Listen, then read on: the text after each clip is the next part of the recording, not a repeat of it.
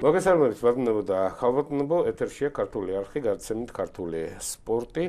მე მის სამყარო ალეკოლეჟევა გახლავარ და უცინარე სკოლისა მინდა მოგილოცოთ დღევანდელი ბწყინვალი დღე ხსენება წმინდა დავით აღმაშენებელისა.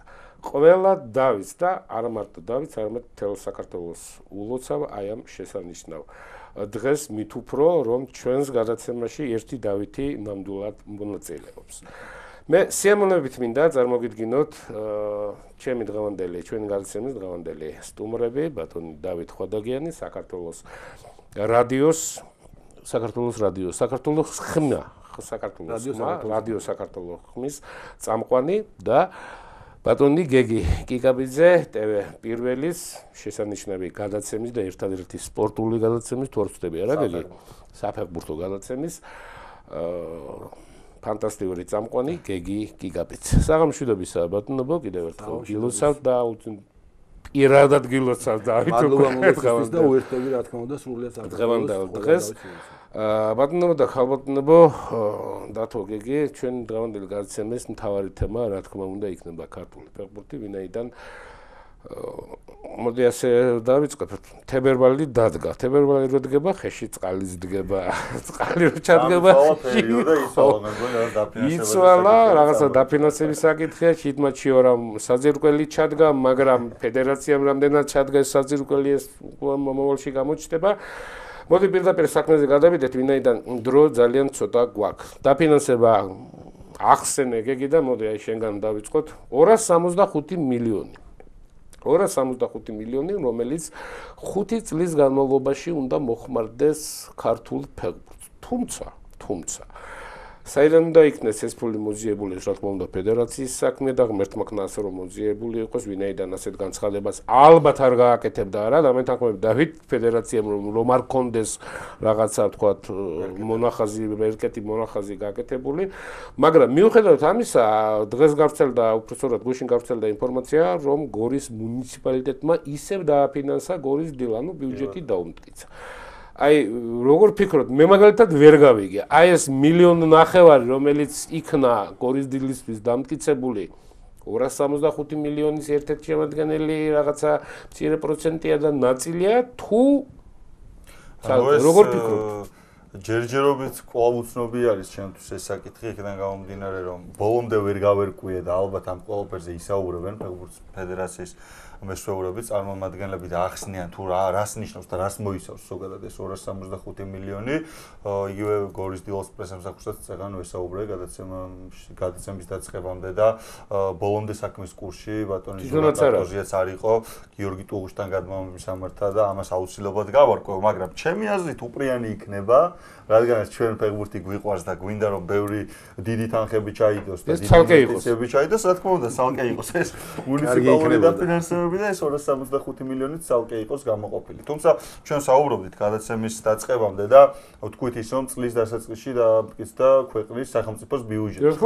აა შესაბამისად ჩნდება კითხვა ეს 265 მილიონი როგორ იგულისხმება ამ სახელმწიფო ბიუჯეტში, რადგანაც ძალიან დროში ცოტა უთავსობა არის, რადგანაც რამდენიმე დღის წინ მოხდა ეს ფეხბურთისთვის ამთახის დამტკიცება და საიდან უნდა მოვიდეს, ამაზე გქონდა ჩვენ საუბარი და დამტკიცება თუ თქმა, დავით. ხო, აი, ესეც დოკუმენტალურად მე არ ვიცი, არ მაქვს ინფორმაცია რამდენად არის ეს დოკუმენტალურად გაფორმებული. ჩასმული მუხლის სახით. ორივე გადაცემის წამყვანები ძამდებით ერთი კიდე ერთი. მუხლის სახით ჩასმული იგივე ბიუჯეტი სახელმწიფო ბიუჯეტი არ არ მაქვს ამის ინფორმაცია და არც გამიგია რომ ეს გაჟღერებული იყოს საერთოდ რაიმე საინფორმაციო წყაროთი იგივე განხილვისას და ასე შემდეგ ასე შემდეგ. ამიტომ ჩემი ვარაუდი ჯერჯერობით ეს ვირტუალური განზრახულობა არის. ანუ ეს რაღაცას გები უნდა მოვაკლოთ. ანუ განზრახულობის გაცხადება არის რომ ჩვენ გვაქვს სურვილი სახელმწიფოს აქვს სურვილი რომ ჩადოს ფეხბურთში 5 წელს მანძე როგორც ვახსენეთ. 265 მილიონი, მაგრამ კითხვა ზუსტადაც იქნება რომ საიდან უნდა მოვიდეს თუ წლევანდელ ბიუჯეტში ეს თანხა არ არის გათვალისწინებული. მე ისევ კითხვას ვამ არ ვიცი, იმიტომ რომ არ გაჟღერებულა არც ისე, არც ასე, არც უარყოფ არც დადასტურება.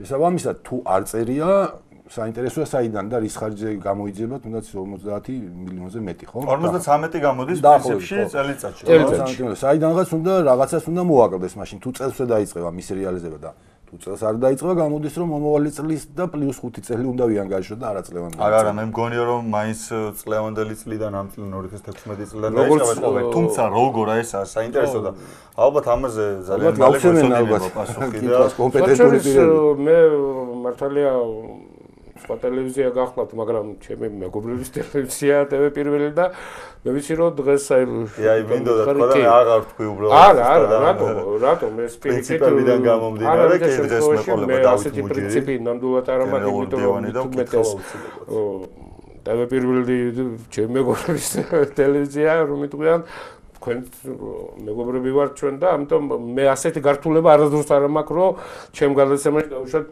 დაანონსდეს, რომ აი რომელიღაცა სპორტული დღეს აუცილებლად დავუსვამ მე ამ კითხვას. და გაქვს საინტერესოა ძალიან საინტერესოა ეს საკითხი იქნეს გარკვეული. კარგი.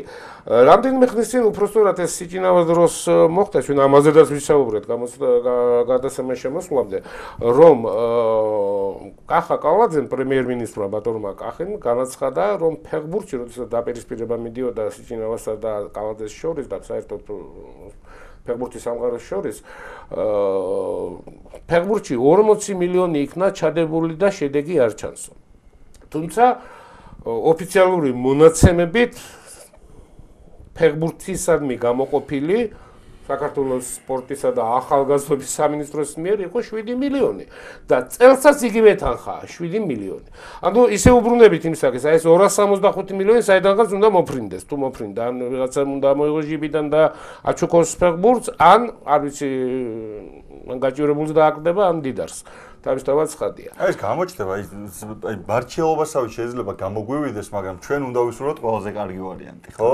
აი 7 მილიონიც იყოს, 40 მილიონიც იყოს და 265 მილიონიც იყოს, თუმცა ალბათ ამ ყოველფრის გადანაწილება თანხების ყველაზე საინტერესო თავარი ეგ არის ჩემთვის პირადად. იმიტომ რომ იგივე დავით მუჟირმა განაცხადა ერთ-ერთ ინტერვიუში, რომ კლუბების დაფინანსების ახალ მოდელზე მუშაობენ და თებერვალში უკვე უნდა იყოს ეს საზოგადოებისთვის ცნობილი.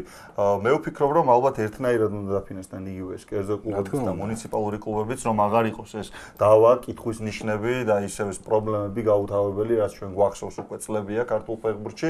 აი, უფრო საინტერესო ალბათ ეს მიმართულებაა თვითონ თანხების მიზნობრიობა, რას უნდა მოხმარდეს, როგორ უნდა მოხმარდეს, რაოდენობრივად, რას უფრო მეტი, რას უფრო ნაკლები და შემდეგ ალბათ უფრო გაგვიმარტივდება ჩვენ ამ თემაზე საუბარი, რადგანაც ესე მართლა მარჩიელობა ცოტა იყოს რთულია ჩემი მხრიდან, იმიტომ რომ ვართ ინფორმაციის ვაკუუმში. ხო, გავაგრძელებდი ამ თემას. ერთგვარად ეხლა ვახსენეთ ჩვენ რომ გორის დილას დაუნტკიცა მუნიციპალიტეტმა მილიონ ნახევარი ხო მე უბრალოდ ეხლა აი მიჩნდება კითხვა. თუ კი გორის მუნიციპალიტეტმა დაუნტკიცა გორის დილას ეს თანხა და ანალოგიური მითითება თუ არ ვიცი დავალება აქვთ კი სხვა მუნიციპალიტეტს იგივე სხვა მუნიციპალიტეტს. იმიტომ რომ ესე ხშირად წლების მანძილზე გორის დილა გახდა სულ სადაო და საკამათო. გვახსოვს ჩვენ იქ ხან რამდენიმე მილიონზე იყო აპარაკი ხან იქ რამდენიმე ასეული ათასზე და ახლაც ესაა აწდებოდა აწდებოდა ხოლმე ამბები რომ რატომ თქვა დილას და რატომ არა სხვა გუნდს იმიტომ რომ მუნიციპალური არის კიდე ხო? სხვა გუნდები უმრავლესობა ყოველ შემთხვევაში მუნიციპალურია პრინციპში. და თუ 4 გუნდი ყავს კერძო არის ხო ძალიან მცირე ოდენობის და ამიტომ აქ უკვე ისჩდება კითხვა გორის დილამ ყოველას გორის მუნიციპალიტეტმა ყოველას დააწოდა ეს მილიონახევარი ჩაურიცხა თუ ეს მხოლოდ გორილების ინიციატივა, ასე ვთქვათ, იქაური მართლობის ადგილობრივი თვითმმართველობის, ხო? თუ ეს სახელმწიფო დავალება, აქაც არის კითხვები და ესეც გასარკვევია, იმიტომ რომ შემდგომ დარწმუნებული ვარ სეზონის წელობისას თუ ანალოგიური რამ არ გახორციელდა სხვა კლუბების მინისამართითაც ისევ დაიწყება გაუთავებელი ყვირილი, ჭიჭყინი, ჩხუბი, დაჯვანი რომ რატომ იმათ და რატომ ჩვენ არა და მოკლედ იქნება ეს ეს მილიონ ნახევარი ლარიდან 500000 ლარი დაახლოებით 500000 ლარი არის გასაკურებელი, რაც არის ვალი. ფეხბურთელების პრემია, ხელფასები, ასე შემდეგ. ყველაფერი პრობლემა საფეხბურთო საქმიანობა მოიცავს. ანუ რჩება მილიონი. კიდევ ერთი პრობლემის წინაშე. ეს ბიუჯეტი იწერება 1 იანვრიდან 1 იანვრამდე. ხო, ყველთვის ცნობილი ფაქტია. კალენდარული წელი კი იწყება სექტემბრიდან და მთავრდება 2017 წლის მაისში და ნუ ეს ახლა ეხლანდელი ჩემპიონატი კიდე მთავრდება მაისის ბოლოს, ხო? გამოდის რომ ამ 500 500 500000 ლარის ანაზღაურების შემთხვევაში გორის ბიგდილამ უნდა იკმაროს ერთი წლის განმავლობაში მილიონი ლარი. შესაბამისად, ანუ დაამთავროს სეზონი, აპრილისთვის ახალი. აპრილისთვის მაქსიმუმ მაისისთვის გუნდი ისო პრობლემების წინაშე დადგება. და არ ვიცი, ისი მეტად უნდა იყოს და აი ამ ხრივა ძალიან საინტერესოა ფედერაციის პოზიცია. კარგი, ამაზე ალბათ მე დღეს სიამოვნებით უყურებ შენს გადაცემას იმის გამო ჯერეთი ყოველთვის სიამოვნებით უყურებ, მაგრამ თავარი ისა რომ პასუხებს მოისმენთ. პასუხს გავიგე. კომპეტენტური პირისგან. კომპეტენტური პირისგან როგორ აპირებენ ისინი ამის გაკეთებას. 4 თვე გავიდა ფეხბურთის ფედერაციის სათავეში ახალი ხელმძღვანელობის სათავეში ყოფნიდან. ზუსტად 4 თვე, 3 ოქტომბერი იყო და დღეს 8 თებერვალიანი 5 დღე გადარჩა. აი ორივე სპორტული ჟურნალისტი მათ შორის, სამივე. როგორ შეაფასებდით ფედერაციის მუშაობას? დავით. ნუ პირველი დავიწყებ იქიდან, რადგან ასე ვსაუბრობდი გადაცემაში შემოსვლამდე, ეთერში გასვლამდე, რომ ბატონ ლევან კობიაშვილის ჰქონდა საარჩევნო პროგრამა, ხდებოდა მედიას, ხდებოდა საფეხბურთო წრეებს და იქ აჟღერებდა ამ ყველაფერს. თუ რა მიმართულებით, როგორ რანაირად უნდა და ერთგვარ გერმანულ მოდელზე ქონდა აქცენტი გაკეთებული, როგორ უნდა განვითარებულიყო საქართველოს ფეხბურთი და მუშაობის პრინციპიც იქაურზე დაფუძნებული. და ერთ-ერთი პირველი მე რასაც უყურებ ახლა ერთ-ერთი პირველი იყო ის რომ კვალიფიციურ კადრებს რომლებიც მუშაობდნენ ფედერაციაში დაისვა ბევრჯერ ეს კითხვა დაუსვით ლევან კობიაშვილის ცალსახა იყო პასუხი რომ არ შეეხებოდა არავითარ შემთხვევაში. მით უმეტეს თუ კვალიფიციური იყო ადამიანი და თავის საქმეს კარგად აკეთებდა არავითარ მნიშვნელობა არ ქონდა ის წინაგუნდის დროს მუშაობდა თუ არ მუშაობდა. დღეს ხედავთ სახეზე პირიქით მაგალითს და ეს ძალიან გულდასაწყვეტია. პირველ რიგში სუფთა კოლეგიალურ მხარდაჭერას უცხადებ გათავისუფლებულ უმრავლესობა პიარ და ასე ვთქვათ ესეთ სამსახურებიდან დაითხოვეს და არა მარტო აქედან ძალიან ბევრი წარმატებული მენეჯერი, ძალიან ბევრი მაღალი დონის სპეციალისტი, ფეხბურთის საქმის ჩახედული ასე შემდეგ ასე შემდეგ. იქ თავარი მიმართულების მიცემა ახალ ხელმძღვანელობა რა მიმართულებას მიცემს ეს ადამიანები ისე შეასრულებენ. მე ამაში რმად ვარ დარწმუნებული. და აი მათი განთავისუფლება უკვე გააჩინა კითხვის ნიშანი, ანუ ერთი პირობა უკვე დაირღვა, შეგვიძლია ამაზე თქვა, ეს საწყენი არ არის, ეს ფაქტია. არც არაფერს ვიგონებთ და არც არაფერს ვამატებთ, ხო? ანუ უკვე ცუდ პრეზიდენტს აჩენს ეს. მეორე კახი სადაძის თემა ხა. ცალკე მიდოდა. კიდე ცალკე, მაგრამ ნუ ხა იგივე რომ თუ მუშაობაზეა საუბარი და 20 თვეზე საუბრობთ, პირველი და მეორე ეს არის, ხო? მეტი ისეთი მნიშვნელოვანი ჯერჯერობით არაფერი მომხდარა. ეს ორი თემით დაგვამახსოვრა ჯერჯერობით შეიცვალა იქ მართლობა, სხვა გუნდი აღმასკომის სხვა არის, ასე შემდეგ, ასე შემდეგ. მაგრამ ამ ორი თემით პირველი ეს კადრების წმენდა თუ განთავისუფლება რაც გინათ ის დავარქვათ და შეიძლება ოპტიმიზაციაც ერქვა ამას კულტურულ ენაზე არ ვიცი რას დავარქვეთ როგორ უწოდებთ და მეორე ნაკრების თავარი მწვრთნელის თემა რომელიც აი მართლა ძალიან უხეშად და ცუდად გამოჩნდა ჩემ თვალში წარმოჩენილი როგორც იყო ეს დავა თუ რას დავარქვით ჯერაც არ დასრულებულა ხო? ჯერჯერობით ფორმალურად მაინც ითვლება კახცხადაძე ნაკრების თავარ მწვრთნელად იქ რაღაც თანხებზე გაუგებარი საუბარი რაღაც დათმობა მოდის მწვრთნელი დათმობაზე მე არა თურმე კიდე რაღაც და ანუ რაღაც ყავქეშა დინერე რომელიც ხა პირადად მართლა არ მისაუბრე არც ლევან კობიაშვილთან და არც გახსადაძესთან და რაიმე დასკვნების გაკეთება ჩემთვის ძნელია, მაგრამ რასაც ვისმენ, რაც მედიით ცელდება იგივე და რა ინტერვიუების და კომენტარების კეთება, ბოლოს უკვე უყურებდი და თქვენ გადაცემაში იყო რომ წნეცაც ეთყობოდა რომ დაიღალა ამ ყველაფრისგან ცხადაძე იყო აშკარად და გადაღებული და აღარ უნდა და საუბარი საერთოდ ამ თემაზე და ძალიან ცუდია ესეთი მიდგომა. მით უმეტეს ერთი წლის დანიშნული არ არის ეს მწვნელი. რაღაც შედეგები იყო, ნუ ეხა გადასარევი და არიქა ესა ვნახეთ. არა, მაგრამ გამოჩნდა ხელწერა. კაპელოს არ ეხება. ხო, გამოჩნდა ხელწერა, გამოჩნდა ცადადის ეს თამამაჩენი მიზდა თქვა. შეიცვალა, ვიდრე იყო კეცბაიასხელში ნაკრების სათამაშო სტილი და ეს უკვე გასახარი მომენტი არის ჩემთვის. გერმანიასთან თამაში არაფერს აღარ ვამბობ, ხო, უბრალოდ მართლაც გული დამწაროს თამაში დავაგეთ, მაგრამ ამაყი ვიყავი ნამდვილად რომ მართლა ზირსეულად ვეთამაშეთ გერმანელებს. ხო და როდესაც არის ესეთი მონახაზი და რაღაც პოზიტივისკენ წავიყვე, ამ დროს წვრთნელი სულ რაც არ უნდა კონფლიქტურ სიტუაციაში იყო მასთან თუ არ იყო თუ როგორც არ არის მართებული უკვე აღმავალ ხას ისე დაღლა დაბლა აგდებ. მე ესე მგონი, არ ვიცი ხა ვინ უნდა მოიყვანოს თუ ქართულ სპეციალისტზე ისევე ლაპარაკი არ ვიცი, აბა ეხა ცხადაძე ვინმეს ჩამორჩება რამით თუ კვალიფიკაციას უწუნებენ ძნელი სათქმელია, ხოლო თუ უცხოელზე და ამბობენ არ არის უცხოელიო ამოსავალიო. არ ვიცი, ყოველ შემთხვევაში აი ეს ორი მომენტი დაამახსოვრდა ეს 4 თვე. ეს მარტო ამ 4 თვის მარტო. ხო, მეტი სხვა ისეთ სანამ შენ გასამდე ჩემ შეკითხვაზე არ შენ აზრს გამოთქონდეს არეა ეთერში გისმენთ მოგესალმებით. მოგესალმებით. გამარჯობა. გამარჯობა. Ну ახლა ქართული ფეხბურთი რო ორი ქართულის სათქივარი ამაზე რაზეა საუბარი და როგორ აეგრია და ერთი რაღაცა მინდა კითხოს და შევეკითხო და ჩემი აზრის გამოთქვათ ახლა 4 თვეა რაც კობიაშურია და ახლა 4 თვეში ფეხბურთის მაგის დონეზე აყვანა არ შეიძლება მაგრამ ჯერ სამასი კაცი რომ დანიშნული გავდა და ლევადო ხელსაჯდენეს გამოაშკარავდა და მე ჩემი აზრი და თქვენ უფრო მეტი კომპეტენტურები ხართ ესე უცბად ფეხბურთზე დასკვნის გაკეთება არ ამგონია რომ მართებული იყო და თქვენ თქვენ ეხდობით ახლა ახსენეთ რომ იქი მიბესტებაო აქ იმას ამბობსო ჟურნალისტიო და ახლა ჟურნალისტების და ეს უსახურების რომელმაც დაუბა საქართველოს ჟურნალისტებმა ვაი ჟურნალისტებმა რა თქმა უნდა იმათ მიხედვით დასკვნის გამოტანა არამართებულია მაპატიე თუ ისენაირად ვამბობდა. მე მგონი ერთი წლის შემდეგ უნდა ვაცალოთ. ერთი წელი მაინც ყოველ შემთხვევაში ანუ თქვენ ფიქრობთ რომ დრო მივცეთ შემია ბატონო? ანუ თქვენ ფიქრობთ, რომ დრო უჭირდება ამას, ხო? ნუ ჩვეულებრივი მოვლენა. რა ჩვენ ახლა კახა კარი მასე ჩვენ ფუტალზე თორე მეც არა არასორი მის მიმაცია მეც, მაგრამ ნახოთ ყოველ შემთხვევაში ვერ ვიტყვი თერს დაველო. შეიძლება მასეც იყოს გეთახმებით მე ის იმასე რომ მეც მასე ფიქრობ რომ არასწორი გადაწყვეტილება იყო იმიტომ რომ წარმატებულად დაიწყო მაგ ვიტყვი ახალგაზრდა და კატოლიკა და მეც მასე ფიქრობ მაგრამ მაინც მგონია რა ვიცი რატომღაც რა ვიცი რა ყველა ყველა კარგად ყოფნა და ჯანმრთელობა და ქართულ ფერმუტის აღოჩინებას მოუწევს დიდი მადლობა დიდი მადლობა.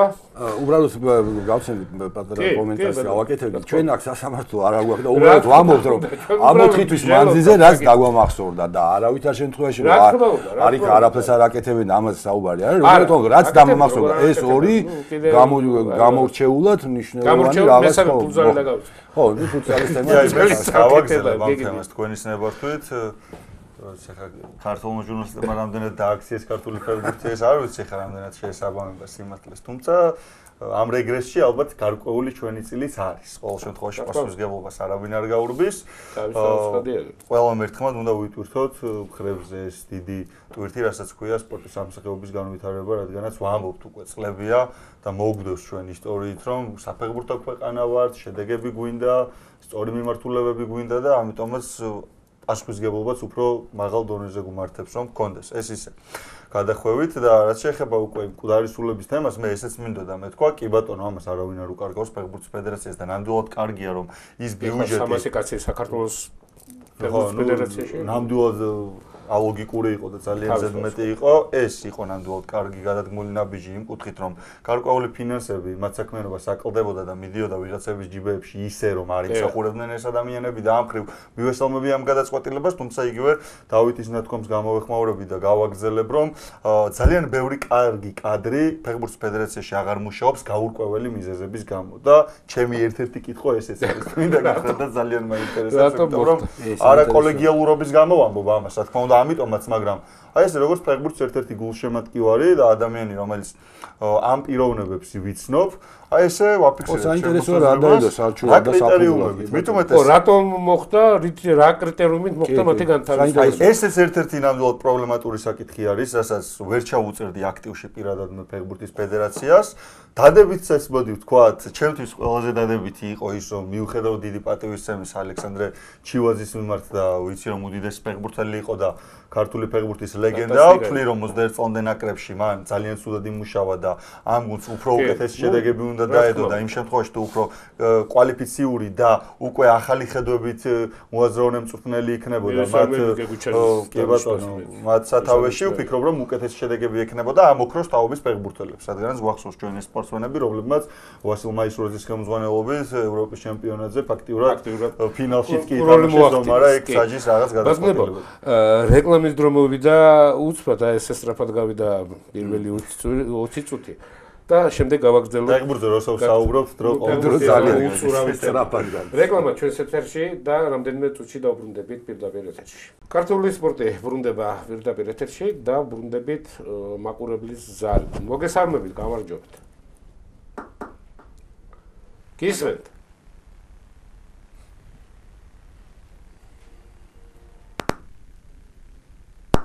პირდაპირ ეთერში ხართ, გისმენთ. ალო? გისმენთ, გისმენთ, გამარჯობათ. მოგესალმებით. მოგესალმებით. აა ძალიან საინტერესო და უნიშნულოვანი თემა შეეხეთ, მე ჩართული ვარ მეტნაკლებად. ალბათ მიცანით ხმაზეს მაინც. პრაქტიკულად 2 წელი სრულდება, რაც სამთავრობო კომისია იყო 2014 წლის 13 თებერვალს. თუ არ ვწდები ბატონი თამას თებზაძე. კი ბატონო. დიახ. დიახ. გისმენთ ბატონი თამას. სამწუხარო არის ის, რომ აი ითქვა, რომ 4 თვე გავიდა.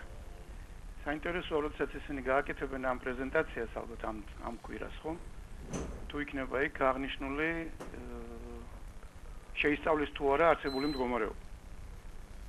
იმიტომ რომ ნებისმიერი სტრატეგიული კონცეპტუალურად ყველაფრის განსაზღვრა დაკავშირებული არის ბევრი მიმართულებებით, იმიტომ რომ ფეხბურთში როდესაც ბატონო გისმენთ, გისმენთ, ბატონ თავს. დიახ.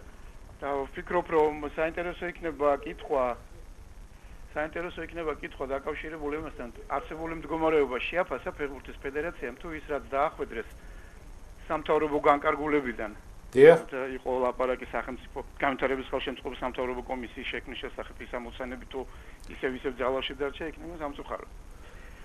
რამდენადაც თუ არ შეისწავლე არსებული მდგომარეობა, as ფედერაციის თავისთავად ხანდი. მიმართაუბრობ, არ გააკეთე მისი ანალიზი, შეფასება და შემდეგ დასკვნა რომლიდანაც უნდა შემუშავდეს სტრატეგია. დიდი მადლობა ბატონ თამას, ეს კითხვა უფრო ალბათ აი ამასთან დაკავშირებით გეგის ვინაიდან დღეს შეიძლება ბუჭირთან ყოველთვის რაც მაწუხებდა აი ამ ბოლო პერიოდში იყო ის რომ როდესაც მოდიხარ ფეხბურთის სათავეებში და ხდები საქართველოს ფეხბურთის ფედერაციის პრეზიდენტი თუ გენერალური დირექტორი თუ არ აქვს მნიშვნელობა მოკლედ აი ამ საქმიანობაში ხარ ჩემი აზრით უკვე უნდა კონდეს ეს ყველაფერი შესწავლილი გარკვეულ დონეზე ის რა ბერკეტებიც გაქვს და გაგაჩნია ხო? მოდი ხარ და მე რეწავლობ და ამაში კარგავ დროს. აი თურმე ის ყოფილა. ხო, აი ასე ყოფილა. ყოველთვის შეიძლება გაუთვალისწინებელი ფაქტორები და წინა. არა, ერთ თავის თავცხადია, გეგი, მაგრამ საერთოდ ჯობში ხონდა ხონდა იგივე სტადიონების პრობლემები და ეს ინფრასტრუქტურის არსებული ინფრასტრუქტურის მდგომარეობა, არ არსებული ინფრასტრუქტურის მდგომარეობა, მე პირადად ვიცი რამდენი სტადიონი არის გასქუსებული ქვეყანაში და თუნდაც ქალაქში და აი მაგალითად ვისაუბრე. ყველაფერი წინასწარ უნდა კონდეს შესწავლილი და დაახლოებითი გათვლა უნდა კონდეს თუნდაც ფინანსურად და ყველანაირად რა შეიძლება გააკეთო და რა შეიძლება განავითარო. კარგი, კიდევ ერთი ზარი გვაქვს. პირდაპირ თეთრში გამარჯობათ, გისმენთ. დიახ. ალო. მოგესალმებით, გამარჯობათ. ალო. დიახ, გისმენთ, ბატონო. მოგესალმებით, გისმენთ. გურმესი მადლობა თქვენი გადაცემისთვის, ძალიან საინტერესო გადაცემა. ის მე ჩემი ძალიან კარგად. მივესალმები სტუმრებს. და რამე დაგეცხათ იცით ახლა აქ რამდენიმე ჩართვას შევესვარი და უბრალოდ არა ეთიკური იყო რაღაც ისეთი საუბარი დავიდა რომ ჟურნალისტების მიმართ განსაკუთრებით. მე მიმაჩნია რომ ქართულ ჟურნალისტიკაში საკმაოდ ბევრია აი თქვენი თამადობით კარგი ჟურნალისტები რომლებიც აღისაულად აჩუქებენ ქართული ფეხბურთის პრობლემებს ყველა საკეთებს და მიმაჩნია რომ ქართულმა ჟურნალისტებმა უფრო მეტად უნდა აიმაღლონ ხმა. იმ ანკერი მხარეების მიმართ რაც არის მე ასევე მე მივესალმებ და ბატონი დავითის არც რომ კახათა კახასა კახათა გადადესან დაკავშირებით. არასწორად მოიქცა ფედერაცია და თვითონ ბატონი ლევანი. არ შეიძლება რომ ასე დამსახურებულ კაცს ასე მოეპყრო. თანაც ასე მოკლე პერიოდში როცა ერთი წელიც კი არ არის გასული რაც ყველა დაენიშნა ეს არის ქართული ქართული გუშემატკივრის შეურაცხყოფა. ეს არის ერთ-ერთი ინტელექტუალური მცდელი რომელსაც შეუძლია გამართულად წაიყვანოს ნაკრების შემდგომი მუშაობა მაბათეთ არ წავღელავ მაგრამ უყმესი მადლობა მინდა მოგახსოვოთ რა მეტი ჩარჯვა აღარ ესაჯო და მე ყოველთვის ვიქნები თქვენი აქტიური ხარდამჭერი კარგად დიდი მადლობა. დიდი მადლობა. აა დიდი მადლობა ჩვენს დელომაყურებელს გეგი მახსენდა კიდეც აი სპორტული მოედნების შესახებ. აგ ჩვენთან მეექვსე კვარტალში ოლიმპიის ჯიქის ხუჯიქის ჯიქის.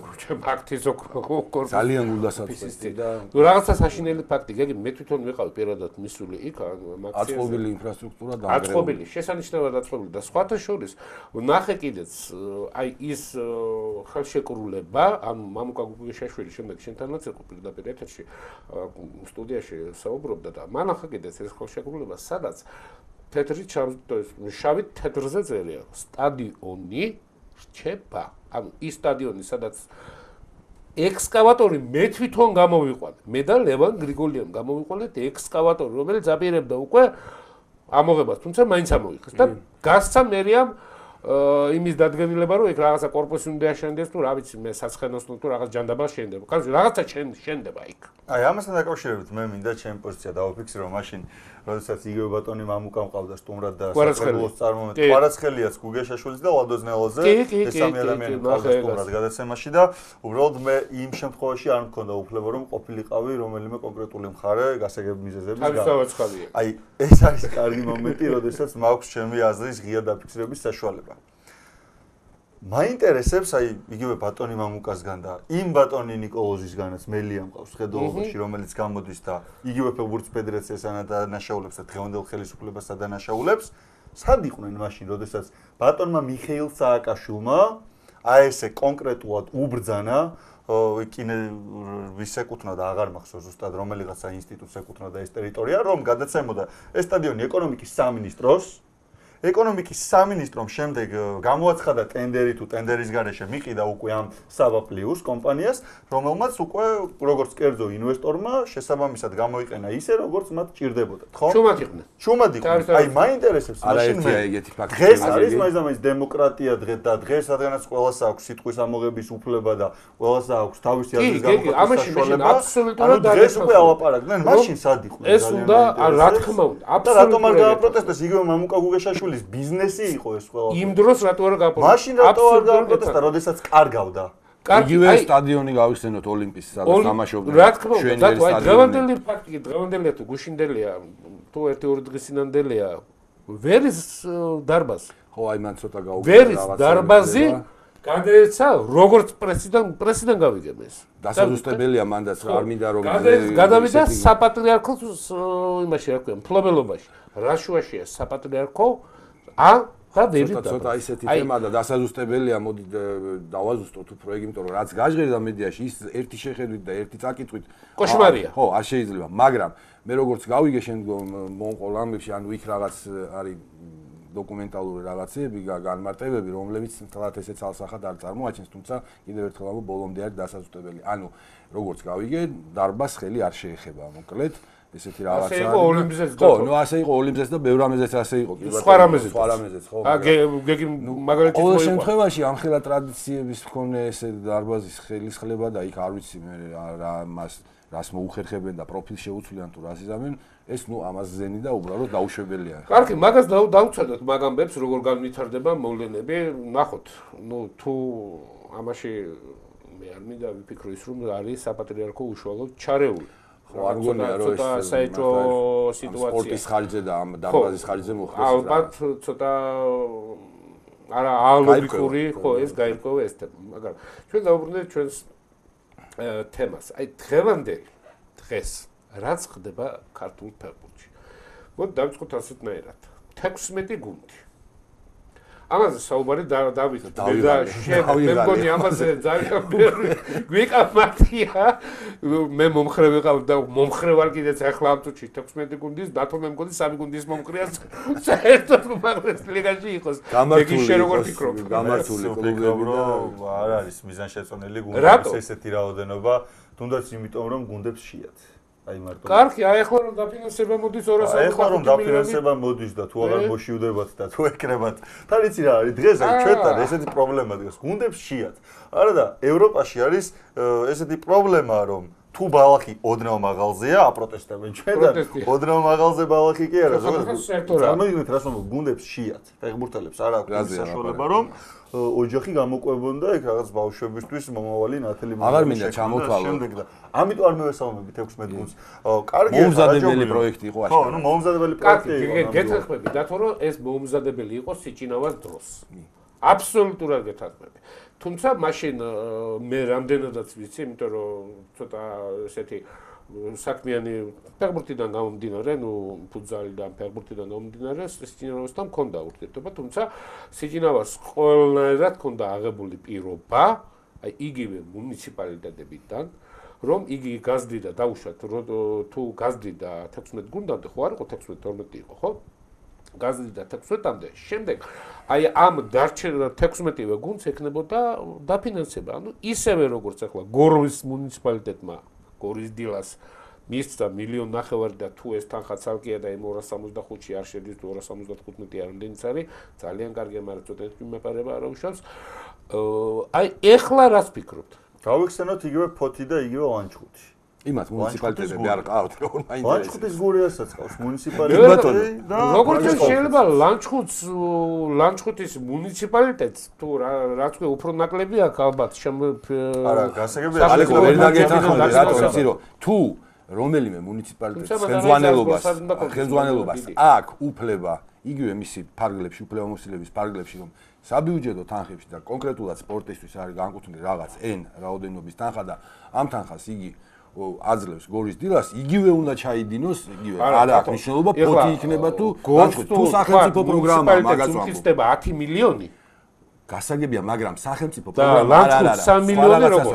თუ სახელმწიფო პროგრამა, რაზეც ჩვენ საუბრობთ, ფეხბურთის დახმარების და ხელშეწყობის. ეს 265-ზე. კი ბატონო, თუ აზე საუბრობთ, მაშინ ეს იქნება ყველა თანაბარი. ანუ იმას მეტი აქვს თუ ნაკლები აქვს აღარა აქვს უკვე მნიშვნელობა. ანუ თბილისი დინამოს რომელსაც 10 მილიონი აქვს თუ 5 მილიონი აქვს, იგივე მილიონი ნახევარი სიტყვაზე მიეცემა მაგასაც მილიონი ნახევარი მიეცემა, ანუ თანაბრად ყველას, იმიტომ რომ აქ არ არის რაიონის სიდიდეზე და ეს არის სახელმწიფო პროგრამა კონკრეტული კლუბისთვის, კონკრეტული გამოყენების თანხა. აი და ხო მაინც უთანაბრო გამოვა. იმიტომ რომ დინამოს კონკრეტულად დინამო ავიღო. დინამოს ხავს პატრონი. ჩვენილი პატრონი. რა ქნას გააგდონ პატრონი? არა, პატრონს ნამდვილად ვერ გააგდებენ.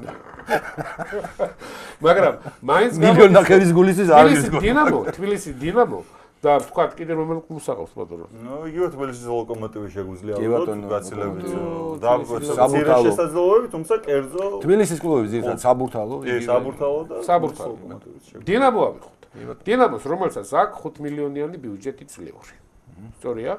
თქვა 5 მილიონი შეიძლება 12 აქ შეიძლება 7 იმას მას ემატება იგივე თანხა რაც ემატება ლანჩხუთის გუნდს კი ბატონო სამართლიანია არ არის სამართლიანი. რატო არ არის? რატო? იგივე უთანაბო პირობებში იქნებიან. რატო არის უთანაბო? კაცო, იგივე იმუნის დინამოს. არა, არა. კერძო ყავს. მაშინ კერძოობა უნდა გავაუქმოთ, ეგრე გამოდის. კერძო. აბა რანაირად მაშინ გავიგე. არა, რაღაც უნდა შემუშავდეს, იმიტომ რომ როგორ გამოდის, იცი? აა, უბრალოდ ინვესტორი თვითონ უნდა მოიძიოს მაშინ. PSV ინხოვენ და მქონდა, როდესაც ზესტაფონის პრეზიდენტი იყო და ნუ დღემდე რჩება, თუმცა ზესტაფონი აღარ არსებობს. კერძოს ვერ გავაუქმებ, აი ზუსტად ეს პრეტენზია ქონდა, რატომ უნდა ფინანსდებოდნენ, თქვა მუნიციპალური კლუბები და მე როდესაც ამდენ ხარჯს ვიღებ და ვდებ თანხებს გადასახადებს ის რატომ არ უნდა გამიკეთონ? შეღავათი ვთქვა რომ იგივე სარწყავი სისტემა კომუნალური გადასახადები და ასე შემდეგ. რატომ არ უნდა გადამიხადოს მე გეტყვი რატომ არ უნდა გავუკეთოთ და ჩვენთან მაგალითად ეგ არ არის გასაკეთებელი როგორც კი 90-იან წლებში ეგ გააკეთეს თბილისი დინამოს კონდა თუ არ ვწდები? კი ბატონო იყო. დაიწყეს ფულის გათეთრება ну ეს უნდა გააკონტროლოს ხო მაგრამ ნახე განსხვავება ის არის განსხვავება ალეკო ის არის მაშინ დინამოს 90-იან წლებში არა მარტო იგა არა მარტო ის რომ ერთ გუნდს გაუკეთეს ეს ხო მაშინ ერთ გუნდს ხო ეხლა თანაბარ პირობებშია ყველა მასო სახელმწიფო თუ ინმეს აძლევს არა ერთს აძლევს არამედ ყველას თანაბრად აძლევს და ის რომ ვიღაცა კერძოა და ვიღაცა მუნიციპალური ეს სულ არ არის ეს სულ არ არის მათი დანაშაული. კი ბატონო ზე დამატებით ინვესტორის მოძიებას არავინ არ უშლის არც ერთ გუნდს და მოიძიონ 30 მენეჯერი ყავს ზოგიერთ და რაღაცები ასეთი. დაუშვათ მერსმა მოქცეს თავის დავაცხადია ცნობილი ბიზნესმენი გახდი და გაკ დიდი რაოდენობის თანხა. ჩადებ ქართულ ფეხბურთში ან ფეხბურთის სიყვარულიც არის ხა იგივე რომ ავიღოთ. ვი ჯორჯიას პრეზიდენტი ამდენი წელია ხო? რუხაძე რუხაძეს. ძალიან დიდ პატივს მართლაც მოყავს და არასოდეს მას არ დაუწუწუნია იმაზე რომ თქვა ცუდ პირობებში ვარ ისა როგორც აქვს თავის ბიუჯეტ წლისგან წლამდე ისე ანაწილებს და მოყვეთ ეს ფეხბურთის სიყვარულია. გახდა გუნდი ჩემპიონი ხო? ასე და მიაღწია რაღაც მიზანს და ეხლა სხვა ორიენტირია ხო? აიღო ახალგაზრდობაზე თავის კლუბის აღზრდილებზე. ისედაც ასე იყო პრინციპი წლების მანძილზე მაგრამ ეხლა მით უმეტეს კი ბატონო გავარდა გუნდი მაგრამ დარწმუნებული ვარ გადმოვა ისე ვი ჯორჯია ისე ვიქნება და აი ესეთი პერსონების ფეხბურთიდან არიყვა იმის გამო რომ ვიღაცა რაღაცა არასწორ გადაწყვეტილებას მიიღებს მიუღებელია. ხა არიყო აღმასკომში დინამოს პრეზიდენტი, არიყო იგივე ვიჯორჯიას პრეზიდენტი, არიყო იქ თქვა ზესტაფონის ხელმძღვანელობა რაღაცები პრობლემები ექნება. ეს გასაგებია როგორც. არა, ესე თუ ვიფიქრეთ ჩვენ რომ რადგან ქართულ ფეხბურთს უჭირს არ უნდა ჩავდოთ ფული, მაშინ ყოველთვის ეს ზოგადად. ხო, სულ ესე იგი, რო არ მოგიტანს დაახლოებით 10 წელიწადი. ეხა ჩვენ რო გავთვალოთ და შევხედოთ სოფელი არა შეიძლება. ერთი მხრიდან როგორც ეს თითქმის 100 ბიზნესმენების შემთხვევაში ხდება. აი, მაგაში ესე ამ შემთხვევაში შეიძლება რომ ამ ეტაპზე არ არის მომგებიანი მაგრამ მე თუ ვარ ბიზნესმენი და მაქვს შესაბამისი თანხები იმისათვის რომ ვიცხოვრო უდარდელად გავაკეთო კეთილი საქმე დავეხმარო ხელოვანებს დავეხმარო სპორტსმენებს და ასე შემდეგ. ზოგადად. გააშნი ახლა რა რა თანხებზე არის კი, საუბარი, გეგი, ხო? გეთანხმები, რაღაცა დონეზე შეიძლება ჩამედო ეს ინვესტიცია ქართულ ფეხბურთში იმ შემთხვევაში თუ შევხედავდი რომ ქვეყანა არ აქვს სამართლიანობა სტაბილური არ აქვს ქვეყანა, ხო ფაქტიურად. ნუ ეხლა ძალიან გლობალურ რაღაცებზე ხო, არა, მართლა გლობალურ რაღაცა არა მარტო ფეხბურთში და სპორტში ყველა სფეროში ძალიან დიდი პრობლემა ხო, მაგრამ, ნახე ალკო, და- აქედან გამომდინარე ყველაფერზე უარი უნდა ვთქვა მაშინ ა, გვա- გვაქვს ჩვენ ქვეყანაში ყავს წარმატებული ფედერაციები, ხო? არის ხო თქვა. რაგბის კავშირი ავიღოთ მაგალითად რაგბის კავშირი. ძიუდო დიდ თანხებზე იქ არ არის ისეთსე როგორც ფეხბურთზე საუბარი და 5 ფეხბურთზე. მილიონია. ხო, ანუ დიდ თანხებზე არ არის საუბარი. მაგრამ არის წარმატებული ფედერაცია. იგივე შეგვიძლია ვთქვათ წყალბურთელებზე, რომელსაც საერთოდ რა ჩემპიონატი გვაქვს და როგორ არის კი ის 4 გუნდი მონაწილეობს თუ არ ვწდები ბოლოს თუ არ დაემატა 4 გუნდია. მაგრამ э, საერთაშორისო არენაზე გადიან ევროპის ჩემპიონატზე მოხვედრა ეხა ხუმრობა საქმე არ არის. ზედ მეორე. ხო და თამაშიც მოიგეს კიდე. უკვე რაღაცები კი რაღაცები გაიხსნა უკვე და ასე ვთქვათ ხელი გაიჭრა როგორც ამბობენ ხო? კალათბურთზე აღარ მაქვს საუბარი ევროპის ჩემპიონატის უკვე სტაბილური მონაწილეები ვარ რაღაც მაგრამ ჩემპიონატსაც თუ შევხედათ არც იქ არ არის ხო? მაღალი დონე და რაღაც ისეთი გამორჩეული მაგრამ ნელ-ნელა ნაბიჯ-ნაბიჯ კეთდება იქაც რაღაცები და ეს საბოლოოდ იძლევა შედეგს. იგივე მოდელია ფეხბურთში განსახორციელებელი ცოტა მეტანხებს მოითხოვს რა თქმა უნდა და მნიშვნელოვნად მეტანხებსაც მოითხოვს მაგრამ ну ასია ესეთი სპორტის სახეობა და რა უნდა და იმის საუბარი ალბათ რომ არაფერი არ გამოვა და რაღაცა რისთვის აირჩიეს აბა მაშინ ახალი ფედერაცია ხელმძღვანელობა რომლემაც რაღაცა უნდა შეღავათი გაუწიოს ისა. ხო აი ნახეთ მე ზუსტად მაგაზე მაგ ლაპარაკი ეშინიათ ამ სიტყვა შეღავათის ვერ გავიგე ნუ რა არის ბუა მართლა ეს შეღავათი როგორც ჩვენ ბუა. ამის კონტროლის მექანიზმი უნდა შეიმუშაო და უნდა. და აკონტროლოს კონკრეტულად ეს ბიუჯეტთან გამოყოფილი თანხები კონკრეტულად 10 ორგანიზაცია მილიონი მორჩა სად წავიდა? ხო, ყოველ თვე ამი მე არა, არ ჩამოვა წერილობა აუდიტი ასე შემდეგ თქმა რა უნდა, თქმა უნდა მორჩა არის. დარღვევა პასუხი აგოს კეთილინებას მორჩა რომ რა არავინ არ ხო, თქვას რა რომ ის არის არასწორია ამ ხრივ ჩარევა. ჩარევა ზოგადად პირდაპირ ესე ხელებით რომ აი შენ გაიწიე და შენ მოდი უნდა დაგსვა ეს არის ძალიან ცუდი ფორმით ჩარევა მაგრამ შენ როდესაც ამ ხელა თანხას უნდა შესაბამისად აკონტროლო კიდევაც აბა და ნებისმიერ ორგანოს ხო? თავისთავად უნდა და გააკონტროლო უკაცრესადაც უნდა აკონტროლო რა თქმა ეს უნდა არის თუმცა ციდან ხო არ წვივა მართლა ის ხო როდესაც ამ ამ თანხაზე საუბარი იყო მაშინ დოლარი 2 ლარი იყო ეხლა 2.50 არის საუბარი იმაზე ალკო რომ ეს თანხები და იყო პროექტში ეხლა აღარ ვიცი უკვე როგორ არის ზუსტად მაგრამ იყო საუბარი იმაზე რომ ეს მოხმარდეს ეს თანხები არა ხელფასებს და ვიღაცის ჯიბის ფულს ინფრასტრუქტურას. ინფრასტრუქტურას გადასახადებს წყალი ეს. თუ სტადიონის თუ მოულის განათების ასე შემდეგ რაც ყველაზე დიდი და პრობლემაა. ამუნიციის შეძენა აი სიტუაცია დავით ზუსტად რასაც ამბობ განერჩენი უკვე ეს სახელმწიფო ფონდი და რაღაცები ეს უკვე სხვა თემა იყოს რომ ამაზე არ იყოს ახლა არ უნდა იყოს როგორც რამდენიმე წელს წინ იყო ერთ გუნდში 30 მენეჯერი თუ რაღაც ეგეთები როცა ფეხბურთელი ხარ სულ 20 ხო? აი წარმოიდგინე ააშენეს ან სტადიონი ააშენეს სტადიონი. მოვიდა ინვესტორი რომელსაც უნდა ჩადოს ქართულ ფეხბურთში ფული. დაინტერესებს შენ გარკვეული იჯარის წესით მას შეღავაც გაუკეთებ ამ იჯარაში. შენ თუ გინდა ახლა რომ განავითარო სპორტი ხო და ფეხბურთი გაუკეთებ ისეთ თანხას დადგენილებას დაუწერ გააფორმებ ხელშეკრულებას და გარკვეული თანხის საზღაურად იჯარით მიცემ ამ ტერიტორიას ფეხბურთელებს უკვე უჩნდებათ мотивация, კარგი ინფრასტრუქტურის ფონზე, კარგ სტადიონზე, კარგ გასახდელებში, გულშემატკივარსაც სიამონებს იქ პროჟექტორები ღამის განდება, მოდის საფეხბურთო ატმოსფეროა. კომპლექსური გამოვლენაც უჩნდება სურვილი გაუნიშნავს უკვე ფეხბურთელი შევადა კარკალებში, წვრთნელებს, ხელმძღვანელობას კლუბში, ხელფასებს, აი შეიფუთა ხო უკვე ერთი გუნდი. უკვე სატელევიზიოთაც საინტერესოა, როდესაც ლამაზი კარგი ინფრასტრუქტურა, ვიზუალი ძალიან ბევრ ამას ნიშნავს, ხო? აღარ გვინდა საუბარი ინგლისზე, გერმანიაზე და ენაზე, იქ პირველი არის ეს ვიზუალში გაინტერესება. ჩვენთან ვიზუალზე აბსოლუტურ უმრავლესობა სტადიონზე ვიზუალი არ არის. უბრალოდ ტელევიზორშიც კი მისი ჩვენება აი ცოტა უხერხულობას აჩვენებს, ხო, რაღაც ახლო კადრები თუ იქნება. თორე რომ გაშლილი კადრი არის საშინელება ხოლმე.